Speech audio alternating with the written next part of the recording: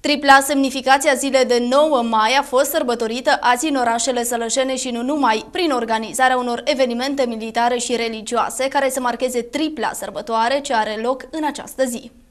Ziua Europei, ziua independenței proclamată în 1877 și victoria Coaliției Națiunilor Unite în cel de-al doilea război mondial sunt motive de sărbătoare pentru poporul român, inclusiv pentru comunitățile sălăjene, care participă în fiecare an la evenimente organizate cu acest scop. Dincolo de aceste manifestări, e important să cunoaștem ce s-a întâmplat din punct de vedere istoric în ziua de 9 mai și care e simbolistica sărbătoririi acestei zile. Ziua de 9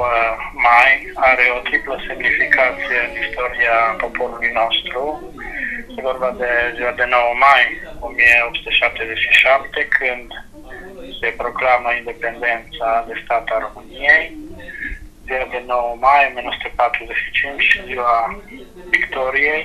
la sfârșitul celei de-a doua conflagrații mondiale, când se sfârșește războiul.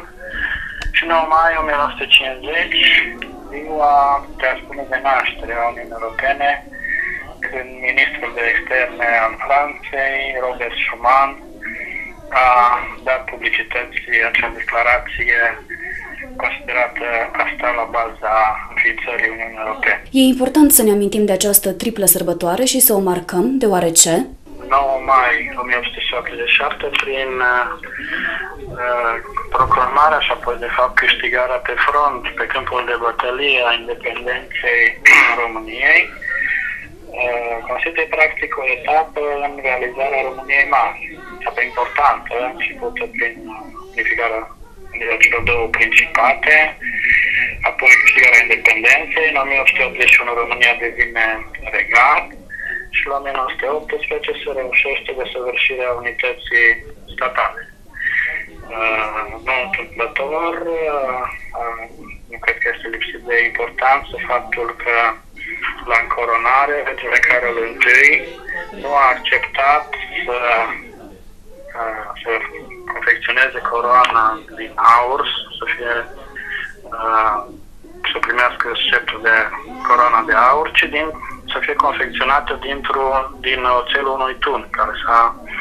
fost folosit la Plevna, timpul războiului de independență. Și perioada respectivă putem spune că a fost una de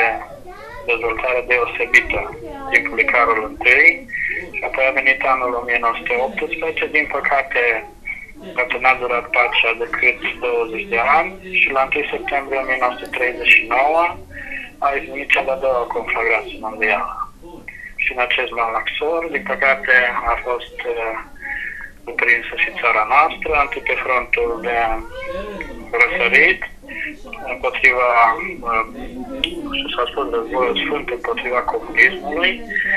iar uh, la 23 august 1944, prin acel act curajos al tânărului lege Mihai, s-a scurtat practic războiul cu cel puțin șase luni de zile ceea ce desigur a dus la uh, multe vieți care au fost salvate în acea perioadă. Uh, și a venit ziua de 9 mai 1945, când s-a semnat capitularea Germaniei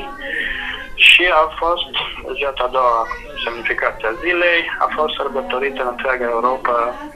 uh, a fost sărbătorită sfârșitul războiului. Și atunci s-a pus problema ce stă la baza acestor războaie, era cel de-al treilea război, mai puțin de 70 de ani între Franța și Germania,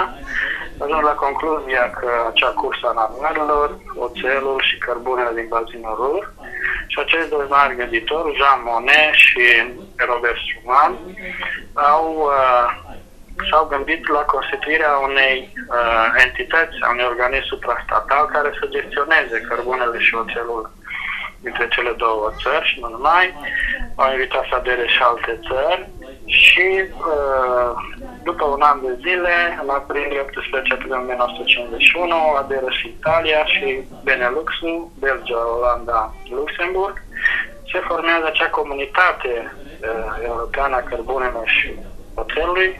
care constituie baza Uniunii Europene urmată mai multe valuri de extindere, 1973 Danemarca, Regatul Unit, Irlanda, apoi Grecia în 1981, Spania, Portugalia După căderea cortinei de fier a urmat cel mai mare val în 2004, când 10 țări au fost primite. Noi, din păcate, n-am fost primite atunci, dar am intrat peste împreună cu Bulgaria în 2007. Și doar ziua de 9 mai 1950, acum oficial ziua Uniunii Europene, poate fi considerată ca zi în care s-a început acest proiect, aflat și acum în construcție, al uh, Uniunii Europene, a unei mari familii europene.